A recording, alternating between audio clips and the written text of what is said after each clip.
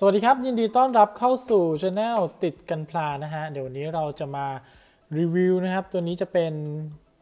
หนึ่งต่อร้อยนะครับ เป็นงานค่ายดาบันอีกเช่นเคยนะครับ ตัวนี้ก็จะเป็น Grey Zeta นะครับ ซึ่งตัวนี้เนี่ยจะมีฐานมาให้ด้วยนะครับ แล้วก็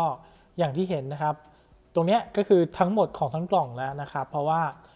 ไม่มี part ชิ้นส่วนที่เหลือในการประกอบนะครับ ตัวนี้นะครับ ต่อดิบตัดเส้นแล้วก็พ่น clear ด้านนะครับ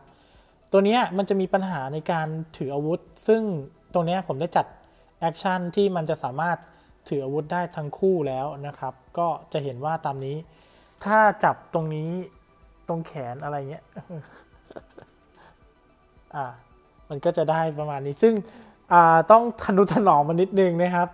จับผิดท่าปุ๊บนี่ล่วงหลุดเลยนะครับ ตามสไตล์โมจีนนะครับผม อเค เดี๋ยวมาดูกันใกล้ๆนะครับ เดี๋ยวขอถอดอาวุธออกก่อนด้วยนะครับ แล้วก็จะได้ดูจุดขยับต่างๆนะครับ แล้วก็ตัวลายเส้นบนตัวได้อย่างชัดเจนมากขึ้นนะครับ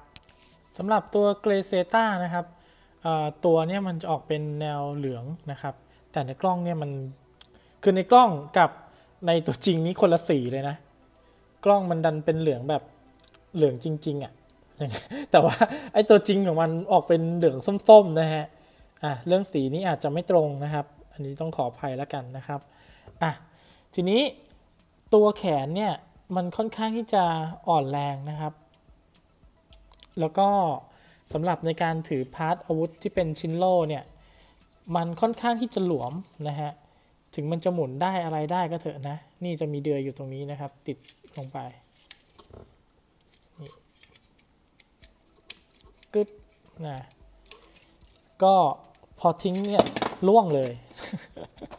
ล่วงล่วงทันทีเลยนะครับ คือมันล่วงทั้งหลวมแล้วก็ล่วงทั้งแขนนะฮะเดี๋ยวขอกดแน่นๆทีหนึ่งเพื่อจะมาดูว่าเนี่ยมันล่วงอย่างนี้เลยคือ มันไม่สามารถค้างได้นะครับเนี่ยแล้วก็หลุดนะครับตามนี้ ซึ่งชิ้นนี้ก็ไม่ได้มีลูกเล่นอะไรพิเศษนะครับเป็นชิ้นประกบนะฮะนี่คือตรงนี้แปลงร่างเป็นเวฟไรเดอร์ก็คือเป็นร่างของยานได้นะครับ แต่ก็คง จะไม่แปลงให้ดูนะฮะ เพราะว่า เออกลัวหัก เพราะว่าทั้งตัวเนี่ย มันจะเป็นประกอบไปด้วยแกนตัว C เยอะมากนะครับ แล้วก็ขึ้นฟ้าไปเกือบหมดแล้ว ทั้งตัวเลยนะ อะ เรามาดูตรงของอกเอว อันนี้คือว่าแน่นหนากว่าของทาง Red Frame มาแจ็คเก็ตที่ทำรีวิวไปวันก่อนนะฮะ ตัวนี้ถือว่าอกเอวเนี่ยดี จะเห็นว่าตรงเนี้ยเป็นรูโบโบใช่ไหม ผมทำหายนะครับทำหายระหว่างต่อก็พยายามหาแล้วมันหาไม่เจอนะครับ ก็ปล่อยให้มันเป็นจุดด่างพร้อยไปนะฮะมันต้องมีบ้างนะครับโมจีนนะฮะที่จะต้องทำเละ แล้วก็ตัวแพ็คหลังเนี่ยมันอันนี้มันไม่ค่อยเข้าล่องอะ่ะ อืมเขาล่องมันตื้นอะจริงๆมันต้องเป็นรูปร่างประมาณนี้นะครับ แล้วก็อันเนี้ยก็ขยับได้ไปมาขึ้นลงนะฮะแล้วก็หมุนได้นะครับ แล้วก็หมุนอย่างนี้ได้นี่แล้วก็ตรงนี้ part ปีกนะครับ มันจะเปิดตรงนี้ขึ้นมาได้นะครับ แล้วก็ดึงนะครับ อย่างนี้ขึ้นมาได้นี่จะเห็นว่าตรงนี้มันเงาเงาใช่ไหมเพราะมันไม่โดนในตรง clear ด้านเนี่ยผมพ่นไปแค่ครั้งเดียว แล้วก็อย่างที่บอกอะไม่ได้ทำเป็นร่างยาน ฉะนั้นก็ไม่มีปัญหานะครับ ก็เก็บคือตรงนี้เปิดได้ไม่มีไม่มีปัญหา แล้วก็ตรงเนี้ยมันแน่นหนานะครับ แต่ว่าไอ้ตรงนี้จะมีอยู่อันเดียวนี่แหละที่มันหลุดไปแต่อีกฝั่งหนึ่งมันแน่นดีไม่หลุดนะครับ ก็คร่าวๆนะครับของแพ็คหลังนะครับ ก็ประมาณนี้สวยนะสำหรับผมนี่ถือว่าสวยเลยนะครับ แล้วก็ความแข็งแรงนะครับ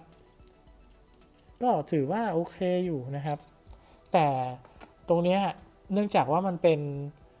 แปลงร่างได้ มันก็เลยจะมีความที่แบบต้องอ่อน เพราะว่าจุดอ่อนเนี่ยก็น่าจะเป็นตัวขาแน่นอนในส่วนของพวกขุนที่แปลงร่างได้นะ เพราะว่ามันจะเป็นอย่างเงี้ย คือเวลายืนมันก็เลยอาจจะงอนแง่นนะครับ ตามขาไปนะครับ ไอจุดที่มันสำหรับแปลงร่างอะไรเงี้ยมันได้หมดนะ ขึ้นในการดึงขึ้นลงเนี่ยอ้าวดึงแรงหลุดอีก กำลังจะโชว์เหนือเลยว่ามันมีจุดในการแปลงร่างเยอะนะครับ เนี่ยมันจะต้องเลื่อนตามนี้ กลายเป็นว่าขยับไม่ได้ซะงั้นน่ะ โอ้โห อุตส่าห์จะโชว์นะฮะ เอาเป็นว่าทำไม่ได้แล้ว โอเค กระโปรงหน้านะฮะก็ขยับได้นิดหน่อยนะฮะ บิดไปมา อยู่ในองศาเนี่ยกำลังเท่นะครับ ตัวกระโปรงข้างนะครับ ก็โยกไปมาได้อย่างนี้นะครับ และตรงนี้ก็มันต้องเปิดได้นะครับ เพราะว่าตรงนี้มันเป็นตัวที่เก็บบีมเซเบอร์นะฮะเราก็แกะออกมาติดบีมเซเบอร์ลงไปนะครับอะจุดแขนเนี่ยอย่างที่บอกตรงนี้ก็คืออ่อนนะครับ อ่อนมากทั้งสองข้างนะครับ ตรงนี้หมุนได้รอบแน่นหนาปกติ แล้วก็ตรงแขนเนี่ยสองจังหวะนี่ชิดอย่างนี้เลยนะครับ แน่นหนาปกติ อันนี้ชมชมเลย แล้วก็ข้อมือแน่นหนาปกติ นิ้วโป้งไม่อ่อนนะครับจุดขยับนะครับก็จะเป็นนิ้วชี้แล้วก็ 3 นิ้วอันนี้นะครับเป็นตัวบอลจอยตรงนี้ แต่ว่าข้อเสียก็คือตรงนี้เท่านั้นเองนะครับที่มันโยกไปมา ไอ้ตรงเนี้ยมันก็ขยับได้นะครับ แต่ว่าแกนตัวสีข้างหลังเนี่ยขึ้นฟ้าเรียบร้อย เขาเนี่ยพับได้นะครับ เพื่อสำหรับทำเป็นร่างเวฟไรเดอร์นะครับ หัวก็หมุนได้ยกได้ไปมาปกติเลยนะครับ ถือว่าเจ๋งเลยนะครับ สุดท้ายก็จะมาเป็นที่ตัวขาเนี่ยแหละนะฮะก็นี่มันค่อนข้างที่จะยังไงดีอะซับซ้อน เพราะว่ามันต้องใช้ประกอบกับการแปลงเป็นเว็บไรเดอร์อันนี้พูดบ่อยมากนะครับ เพราะว่าเราไม่ทำให้ดูด้วยอะเตะมาด้านหน้านี่ต้องค่อยๆจับนะ ผมเสียวหักมากเลยอะนะฮะ แล้วก็ตรงนี้หมุนได้รอบนะครับ เพราะว่าจุดแกนขยับมันอยู่ตรงตรงนี้พอดีมันเลยหมุนได้รอบอย่างนี้นะครับ ส่วนขาก็โยกไปมาอย่างเงี้ยนะครับ ซึ่งมันเป็นจุดอ่อนนะฮะตรงนี้ 2 จังหวะพับชิดติดดีไซน์นะครับไดได้ทั้งสองข้างไม่มีปัญหาอะไร แต่พอจะกลับเป็นขาปกตินะฮะก็ต้องจัดทรงมันดีๆหน่อยนะ เพราะมันจะโยกโอนอ่อนงอนแง่นนะแล้วแต่จะเรียกนะครับ แล้วก็ตรงเนี้ยขยับได้นะครับ แล้วก็ตรงนี้ก็ขยับได้นะฮะ ตัวเท้านี่ก็ขึ้นลงนะครับ แล้วก็พลิกไปมาสำหรับเปลี่ยนฟอร์มนะครับ ตรงนี้ผมติดไม่สนิทนะฮะ ก็เลยกาวไว้ ส่วนด้านนี้ติดปกติโอเคนะครับ นี่ก็คือจุดขยับโดยรอบแล้วนะฮะสำหรับของตัวเกรเซตานะครับ สวยนะฮะ แต่อย่างที่บอกสีในจอกับสีที่เห็น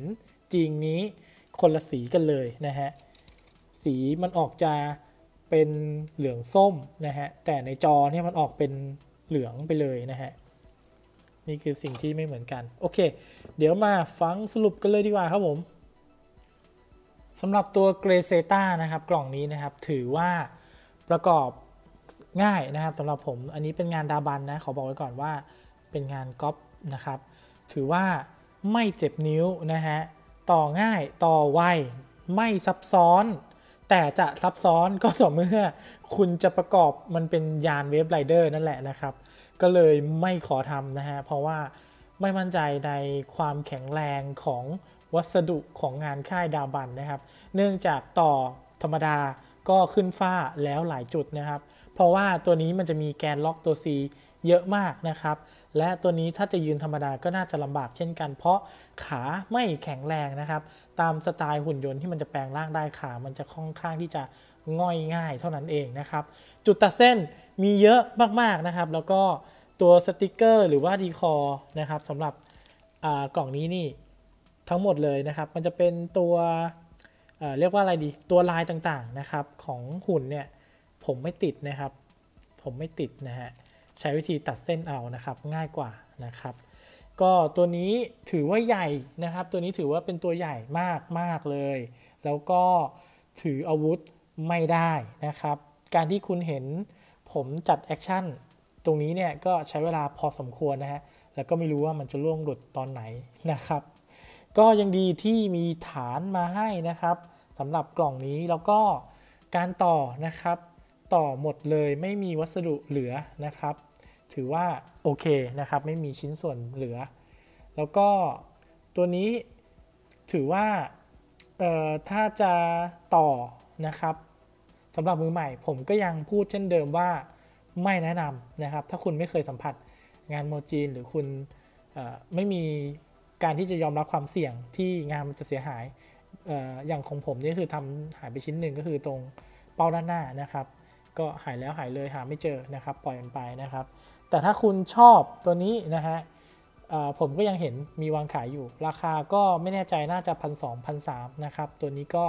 ดองไว้ประมาณปีหนึ่งเหมือนกันนะครับ ก็ถือว่าไอเดือนตัวมิถุนานี้ของมันน้อยก็เลยถือโอกาสที่จะเอามาต่อนะครับเข้าเวลาได้นะครับผมก็คร่าวๆนะครับ ประมาณนี้สำหรับงานค่ายดาบันนะครับ ขอย้ำอีกครั้งนะครับ ถ้าต้องการจะซื้อหาไปเล่นก็ต้องยอมรับความเสี่ยงที่มันจะเสียหายแล้วก็ไม่สมบูรณ์นะครับผมโอเคสำหรับเพื่อนๆที่เพิ่งเข้ามาดูใหม่นะฮะและยังไม่เคยกดติดตาม อย่าลืมกดไลค์กดแชร์กดกระดิ่งให้ด้วยนะครับ เพราะผมจะมีคลิปใหม่ๆ มาให้ดูในเกือบทุกๆวันเลยนะครับ แล้วก็คลิปนี้ผิดพลาดประการใดต้องขออภัยไว้ด้วยนะครับ ในทั้งข้อมูลและเนื้อหาอาจจะไม่ครบถ้วนนะครับ แล้วเจอกันใหม่คลิปหน้านะครับ สวัสดีครับผม